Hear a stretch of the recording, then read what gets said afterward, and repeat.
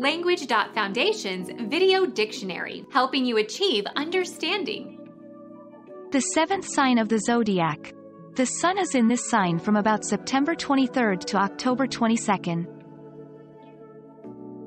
Balance, Libra, Libra the scales. Become our student and get access to effective and free educational materials. Subscribe to our channel to become a part of our growing community and to learn English effectively.